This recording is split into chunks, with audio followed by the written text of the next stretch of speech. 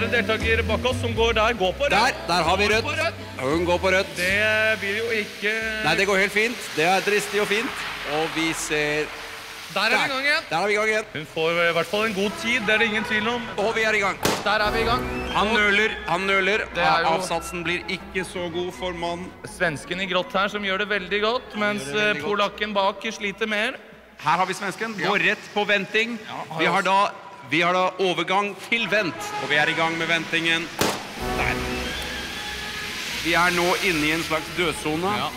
Uh, vi kan jo ta et uh, spørsmål fra seerne. Ja, gjør det. Har du lyst på meg? står det her. Tine, ni år. Tine.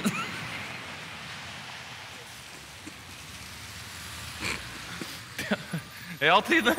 Hva sier man til sånt? Det er alltid hyggelig med oppmerksomhet, men eh, man burde passe seg litt når man er såpass profilert.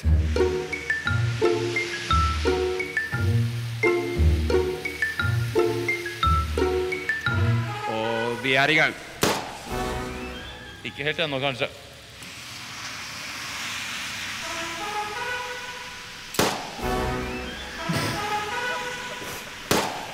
Ser her at du har alternativer ett minutt og ni minutter. Hvilken vil du gå for?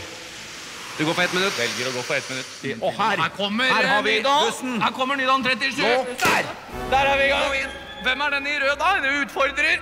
Det er en utfordrer. Ja, det er det ingen tvil om. Få de sitteplasser. Får de er det mulig? Ja, rød har fått seg sitteplass. Men grå går for ståplass. Går for ståplass, ja. Det er ståplass på grå. store utviklinger på ståplassen. Beina mine har sovna, så får vi en melding om her.